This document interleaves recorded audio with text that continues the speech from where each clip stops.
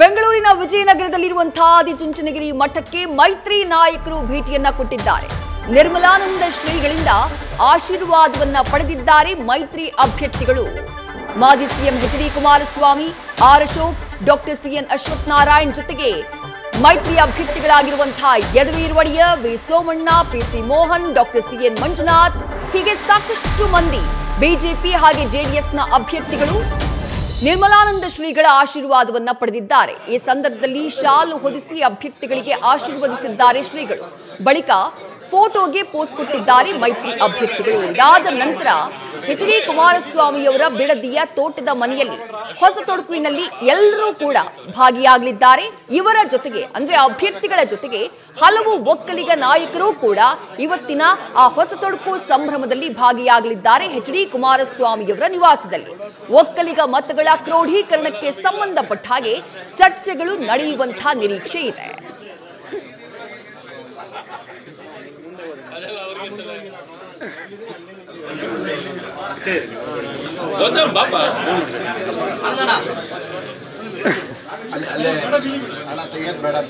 ಸ್ವಲ್ಪ ಇದೆ ಸರ್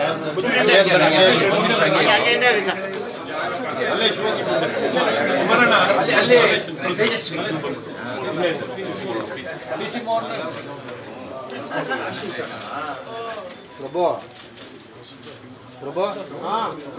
ಕ್ಲೀನಾಗಿ ತೊಗೊಳಪ್ಪ ಅದಣ್ಣ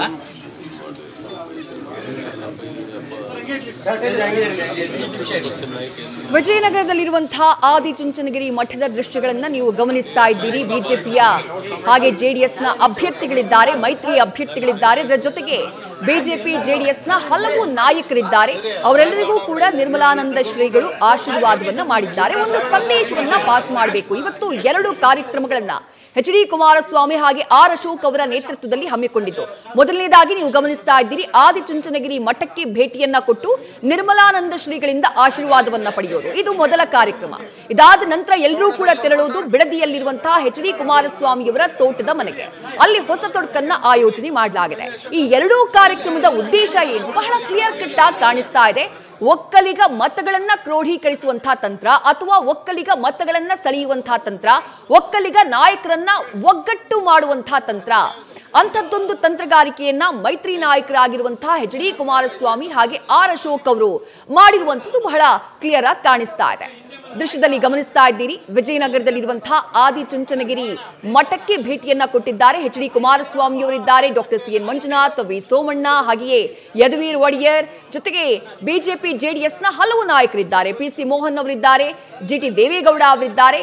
ಪಕ್ಷದ ಅಭ್ಯರ್ಥಿಗಳು ಬ್ರಿಜೇಶ್ ಚೌಟ ಅವರಿದ್ದಾರೆ. ಎಲ್ಲರೂ ಕೂಡ ಆದಿಚುಂಚನಗಿರಿ ಮಠದ ನಿರ್ಮಲಾನಂದ ಶ್ರೀಗಳ ಆಶೀರ್ವಾದವನ್ನು ಪಡೆದಿದ್ದಾರೆ. ಎಲ್ಲ ಅಭ್ಯರ್ಥಿಗಳನ್ನು ಒಟ್ಟಾಕೊಂಡು, ಪಕ್ಷದ, ಉಭಯ ಪಕ್ಷದ ಪ್ರಮುಖ ನಾಯಕರನ್ನು ಒಟ್ಟಾಕೊಂಡು ಕುಮಾರಸ್ವಾಮಿಯವರು ಹಾಗೆ ಆರ್ ಅಶೋಕ್ ಅವರು ನೇರವಾಗಿ ವಿಜಯನಗರದಲ್ಲಿರುವಂತಹ, ಬೆಂಗಳೂರಿನ ವಿಜಯನಗರದಲ್ಲಿರುವಂತಹ ಆದಿಚುಂಚನಗಿರಿ ಮಠಕ್ಕೆ ಭೇಟಿಯನ್ನ ಕೊಟ್ಟಿರೋದು ನಿರ್ಮಲಾನಂದ ಶ್ರೀಗಳಿಂದ ಆಶೀರ್ವಾದವನ್ನ ಅವರಿಗೆ ಅಭ್ಯರ್ಥಿಗಳಿಗೆ ಮಾಡಿಸಿರುವಂತದ್ದು ಇದರ ಉದ್ದೇಶ ಒಕ್ಕಲಿಗ ಮತಗಳ ಕ್ರೋಢೀಕರಣ. ಇದಾದ ನಂತರದ ಕಾರ್ಯಕ್ರಮ ನೇರವಾಗಿ ಎಚ್ ಡಿ ಕುಮಾರಸ್ವಾಮಿಯವರ ಬಿಡದಿಯ ನಿವಾಸ.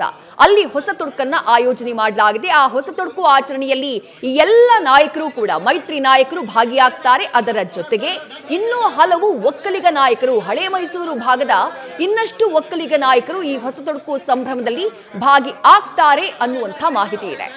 ಲೋಕ ಚುನಾವಣೆಯಲ್ಲಿ ಮೈತ್ರಿ ಅಭ್ಯರ್ಥಿಗಳನ್ನ ಗೆಲ್ಲಿಸುವ ವಿಚಾರಕ್ಕೆ ಸಂಬಂಧಪಟ್ಟ ಹಾಗೆ ತಂತ್ರಗಾರಿಕೆಯನ್ನ ಈ ಹೊಸ ತೊಡಕು ನೆಪದಲ್ಲಿ ಎಚ್ ಡಿ ಕುಮಾರಸ್ವಾಮಿಯವರು ಹಾಗೆ ಆರ್ ಅಶೋಕ್ ಅವರು ಮಾಡಲಿದ್ದಾರೆ. ಆ ಬಗ್ಗೆ ಮಾತುಕತೆಯನ್ನ ನಡೆಸಲಿದ್ದಾರೆ, ಆ ಬಗ್ಗೆ ಚರ್ಚೆಯನ್ನ ನಡೆಸಲಿದ್ದಾರೆ ಅಂತ ಹೇಳಲಾಗ್ತಾ ಇದೆ.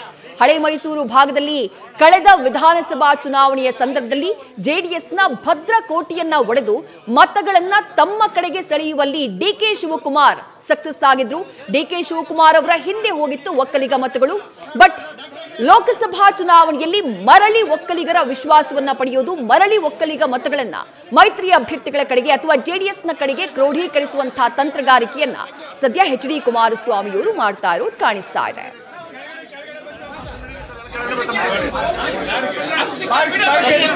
ಬಿಡುಗಡೆ ಮಾಡಿದೆ. ರಾಜ್ಯ ಸರ್ಕಾರ ಎರಡೆರಡು ಸಾವಿರ ಕೊಡ್ತಾ ಇದೆಯಲ್ಲ, ಅದು ಕೇಂದ್ರ ಸರ್ಕಾರ ಕೊಟ್ಟಿರೋ ಹಣ. ರಾಜ್ಯ ಸರ್ಕಾರದ ಒಂದು ನಯಾ ಪೈಸೆ ಹಣನೂ ಅದರಲ್ಲಿಲ್ಲ. ಕೇಂದ್ರ ಸರ್ಕಾರ ಎರಡು ಕಂತಲ್ಲಿ ಎಸ್ ಟಿ ಆರ್ ಎಫ್ ಹಣವನ್ನು ಕೊಟ್ಟಿದೆ. ಅದನ್ನು ಮುಚ್ಚಿಟ್ಟು ನಾವೇ ಕೊಟ್ಟಿದ್ದೀರಿ ಎರಡು ಸಾವಿರ ಅಂತ ಹೇಳ್ತಾ ಇದ್ದಾರೆ.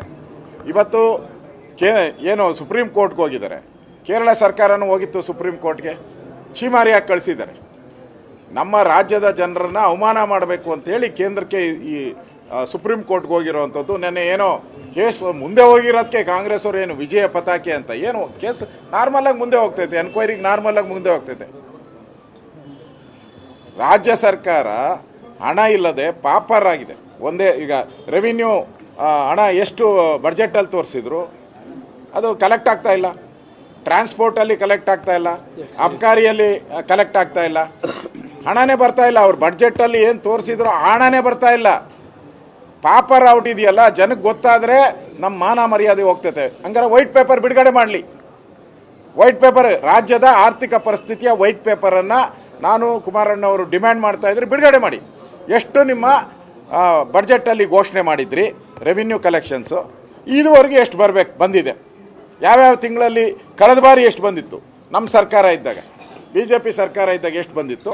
ಈ ಈ ಬಾರಿ ಆಯಾ ತಿಂಗಳಲ್ಲಿ ಎಷ್ಟೆಷ್ಟು ಬಂದಿದೆ ಅಂತ ಬಿಡುಗಡೆ ಮಾಡಿ ನಿಮಗೆ ತಾಕತ್ತಿದ್ರೆ ಅದನ್ನು. ಮುಚ್ಚಿಡ್ತಾ ಇದ್ದೀರಾ? ಪಾಪರ ಔಟಿದೆ ಸರ್ಕಾರ. ಮೂರು ತಿಂಗಳಿಂದ ದುಡ್ಡು ಕೊಟ್ಟಿಲ್ಲ ಎರಡು ಸಾವಿರ. ಒಟ್ಟಿಗೆ ಕೊಡ್ತೀನಿ ಅಂತ ಹೇಳ್ತಾ ಇದ್ದಾರೆ ಚುನಾವಣೆಗೋಸ್ಕರ. ಮತ್ತೆ ಕೇಂದ್ರ ಸರ್ಕಾರ ಕೊಡ್ತಾ ಇರೋ ಅಕ್ಕಿಯನ್ನ ನಾನು ಅನ್ನಭಾಗ್ಯ ಅಂತ ಹೇಳ್ತಾರೆ. ನರೇಂದ್ರ ಮೋದಿ ಅವರ ಅನ್ನಭಾಗ್ಯ ಅದು. ಐದು ಕೆ ಜಿ ಕೊಡ್ತಾ ಇರೋದು ನರೇಂದ್ರ ಮೋದಿ. ಇದು duplicate Siddaramaiah. Duplicate Siddaramaiah duplicate ಘೋಷಣೆಗಳನ್ನು ಮಾಡ್ತಾ ಇದ್ದಾರೆ. ಅದರಿಂದ ಕೇಂದ್ರ ಸರ್ಕಾರ ನಮಗೆ ಕಳೆದ ಐದು ವರ್ಷ, ಹತ್ತು ವರ್ಷದಲ್ಲಿ ಕೇಂದ್ರ ಸರ್ಕಾರ ಕೊಟ್ಟಷ್ಟು ಹಣವನ್ನು ಮನಮೋಹನ್ ಸಿಂಗ್ ಅವ್ರ ಸರ್ಕಾರದಲ್ಲಿ ಕಾಲು ಭಾಗನೂ ಕೊಟ್ಟಿಲ್ಲ. ಕಾಲು ಭಾಗ ಕೊಟ್ಟಿಲ್ಲ. ಇನ್ನೂರ ನಲವತ್ತೈದು ಪರ್ಸೆಂಟ್ ಮನಮೋಹನ್ ಸಿಂಗ್ ಏನು ಕೊಟ್ಟಿದ್ರು, ಅದಕ್ಕಿಂತ ಇನ್ನೂರ ನಲವತ್ತೈದು ಪರ್ಸೆಂಟ್ ಹಣವನ್ನು ಹೆಚ್ಚುವರಿಯಾಗಿ ಮೋದಿಯವರು ಕೊಟ್ಟಿದ್ದಾರೆ. ಅದು ಬಿಟ್ಟು ರೈಲ್ವೆಗೆ ಕೊಟ್ಟಿದ್ದಾರೆ. ಇಂಟರ್ನ್ಯಾಷನಲ್ ಟ್ರಾನ್ಸ್ಪೋರ್ಟ್ ಕೊಟ್ಟಿದ್ದಾರೆ. ಮೆಟ್ರೋಗೆ ಕೊಟ್ಟಿದ್ದಾರೆ. ಸಬರ್ಬನ್ ರೈಲ್ವೆ ಕೊಟ್ಟಿದ್ದಾರೆ. ಇದೆಲ್ಲ ಎಕ್ಸ್ಟ್ರಾ ಕೊಟ್ಟಿರುವಂಥದ್ದು. ಇವ್ರ ಯೋಗ್ಯತೆಗೆ ಜಲಮಿಷನ್ ಕುಡಿಯೋ ನೀರು, ಜಲ್ ಜೀವನ್. ಇವ್ರ ಯೋಗ್ಯತೆಗೆ ಐವತ್ತು ವರ್ಷ ಆಗಿದೆ. ನಮ್ಗೆ ಕೇಳ್ತಾರೆ ಇಲ್ಲಿ ಪ್ರಶ್ನೆ, N D R F, S D R ಎಫ್ನ ಒಂದು ಗೈಡ್ಲೈನ್ಸ್ ಏನಿದೆ? ನಾನು ಕೇಳ್ತಕ್ಕಂಥದ್ದು ನಿಮಗೆ. N D R F, S D R F ಇರ್ತಕ್ಕಂಥದ್ದು, ಆ ಗೈಡ್ಲೈನ್ಗಳಲ್ಲಿ ಫೈನಾನ್ಸ್ ಕಮಿಷನ್ ಏನಿದೆ? ಪ್ರತಿ ವರ್ಷಕ್ಕೆ ಐದು ವರ್ಷದ ಒಂದು ಬಾರಿ ಫೈನಾನ್ಸ್ ಕಮಿಷನ್ ರೆಕಮೆಂಡೇಶನ್ ಏನಿದೆ? ಯಾವ್ಯಾವ ರಾಜ್ಯಕ್ಕೆ ಎಸ್ ಡಿ ಆರ್ ಎಫ್ ಅಡಿನಲ್ಲಿ, ಎನ್ ಡಿ ಆರ್ ಎಫ್ ಅಡಿನಲ್ಲಿ ಹಣವನ್ನು ಕೊಡಬೇಕು ಅಂತಕ್ಕಂಥದ್ದು ತೀರ್ಮಾನ ಆಗಿರ್ತದೆ. ಇದು ವಿಶೇಷವಾದಂಥ ಪ್ರಕರಣ ಅಂತ ಕೊಡಬೇಕು ಅಂತೇಳಿ ಹದಿನೆಂಟು ಸಾವಿರ ಕೋಟಿ ಕೊಡ್ಲಿಕ್ಕೆ ಸಾಧ್ಯವಾ? ದೇಶದ ಇತಿಹಾಸದಲ್ಲಿ ಸ್ವಾತಂತ್ರ್ಯ ಬಂದ ನಂತರ ಯಾವುದಾದ್ರೂ ರಾಜ್ಯದಲ್ಲಿ, ಇದೇ ಕಾಂಗ್ರೆಸ್ ಸರ್ಕಾರವೇ ಆಡಳಿತದಲ್ಲಿ ಇತ್ತಲ್ಲ ಐವತ್ತು ವರ್ಷ, ಎಲ್ಲಾದರೂ ಕೊಟ್ಟಿದ್ದಾರಾ? ಹದಿನೆಂಟು ಸಾವಿರ ಕೋಟಿನ? ಕೇಳೋದಕ್ಕೂ ಒಂದು ಇತಿಮಿತಿ ಇರಬೇಕಲ್ವ? ನೀವು ಕೆಲಸ ಮಾಡ್ತಕ್ಕಂಥ ಜವಾಬ್ದಾರಿ ನೀವು ಇಟ್ಕೊಂಡು ಇಲ್ಲಿ ಹಣದ ಕೊರತೆ ಇವತ್ತು ದಿನ ಕಾರ್ಯಕ್ರಮಗಳು ಅಂತ ಕೊಡ್ತಾ ಇದೆಯಲ್ಲ ಗ್ಯಾರಂಟಿ. ಏನೋ ಮತ್ತೆ ಏನೋ ಈಗ ಇಪ್ಪತ್ತೈದು ಗ್ಯಾರಂಟಿ ಅಂತಲ್ಲ. ಈ ಗ್ಯಾರಂಟಿಗೆ ತಡ್ಕೊಳಕ್ಕಾಯ್ತಿಲ್ಲ, ಸರ್ಕಾರ ನಡೆಸಲಿಕ್ಕೆ. ಈಗ ಅದೇನೋ ಕೊಟ್ಕೊಂಡಿದ್ದೀರಲ್ಲ. ಈಗ ನೀವು ಸರಿಯಾದ ರೀತಿಯ ಆರ್ಥಿಕ ಹೊಣೆಗಾರಿಕೆಯನ್ನು ಮಾಡದೆ, ಇವತ್ತು ಕೇಂದ್ರ ಸರ್ಕಾರದ ಮುಂದೆ ಪ್ರತಿನಿತ್ಯ ರೀತಿಯ ಹೇಳ್ತಾ ಇದ್ದೀರಿ. ಈಗ ನಾನು ಸರ್ಕಾರದಲ್ಲಿ ಹದಿನಾಲ್ಕು ತಿಂಗಳು ರೈತರ ಸಾಲ ಮನ್ನಾ ಮಾಡ್ತೀವಿ ಅಂತ ಹೇಳಿದ್ವಲ್ಲ? ಇಪ್ಪತ್ತೈದು ಸಾವಿರ ಕೋಟಿ ರೈತರ ಸಾಲ ಮನ್ನಾ ಮಾಡಿದಾಗ ಕೇಂದ್ರ ಸರ್ಕಾರ ಕೊಡಿ ಅಂತ ಕೇಳಿದ್ವ ನಾವು. ರಾಜ್ಯದಿಂದ ನಮ್ಮ ರಾಜ್ಯದ ತೆರಿಗೆ ಹಣದಿಂದ ಕಟ್ಟಿಲ್ವ ನಾವು? ರೈತ ಸಾಲ ಮನ್ನಾ ಮಾಡಲಿಲ್ವಾ? ಇವರು ಮಾಡಲಿಕ್ಕಾಗದೆ ಈ ಕೇಂದ್ರ ಸರ್ಕಾರದ ಕಡೆ ಪ್ರತಿಯೊಂದು ದಿನ ಬೊಟ್ಟು ಮಾಡಿ ತೋರಿಸ್ತಾ ಇರೋದು ನೋಡ್ತಾ ಇದ್ದೇವೆ ಅಯ್ಯೋ ಬಿಡಿ ಅವ್ರ ಬಗ್ಗೆ ಎಲ್ಲ ಚರ್ಚೆ. ಇಲ್ಲ ಎನ್ ಡಿ ಎಲ್ಲ ಆರ್ ದೊಡ್ಡ ಇದ್ದಾರೆ. ಇಲ್ಲ ಎಸ್ ಡಿ ಆರ್ ಎಫ್ ಹಣದಲ್ಲಿ ಈಗಾಗಲೇ ಆರ್ನೂರ ಎಪ್ಪತ್ತು ಕೋಟಿ ರೂಪಾಯಿ ಹಣವನ್ನ ಮತ್ತಷ್ಟು ಡೀಟೇಲ್ಸ್ ನಮ್ಮ ಪ್ರತಿನಿಧಿ ಮಧುಸೂದನ್ ನೀಡ್ತಾ ಹೋಗ್ತಾರೆ. ಮಧುಸೂದನ್ ಮೊದಲು ಆದಿಚುಂಚನಗಿರಿ ಮಠಕ್ಕೆ ಭೇಟಿ. ಅದಾದ ನಂತರ ಹೊಸ ತೊಡಕುವಿನ ನೆಪದಲ್ಲಿ ಕುಮಾರಸ್ವಾಮಿಯವರ ಮನೆಯಲ್ಲಿ ಚರ್ಚೆ. ಉದ್ದೇಶ ಒಂದೇ, ಒಕ್ಕಲಿಗ ಮತಗಳ ಕ್ರೋಢೀಕರಣ ಆಗಬೇಕು, ಲೋಕಸಭೆಯಲ್ಲಿ ಮೈತ್ರಿ ಅಭ್ಯರ್ಥಿಗಳನ್ನ ಗೆಲ್ಲಿಸಿಕೊಂಡು ಬರಬೇಕು. ಬಟ್ ಕಳೆದ ವಿಧಾನಸಭಾ ಚುನಾವಣೆಯ ಸಂದರ್ಭದಲ್ಲಿ ಕಾಂಗ್ರೆಸ್ ಕಡೆ ಹೋಗಿರುವಂತಹ ಒಕ್ಕಲಿಗ ಮತಗಳ ಕ್ರೋಢೀಕರಣಕ್ಕೆ ಈ ಬಾರಿ ಯಾರ್ಯಾರ ನಾಯಕರು ಇವತ್ತಿನ ಈ ಒಂದು ಹೊಸ ಟುಕ್ಕಿನಲ್ಲಿ ಭಾಗಿಯಾಗ್ತಿದ್ದಾರೆ ಕುಮಾರಸ್ವಾಮಿ ಹಾಗೆ ಆರ್ ಅಶೋಕ್ ಅವರ ಜೊತೆಗೆ ಅಂತ ಹೇಳಿ.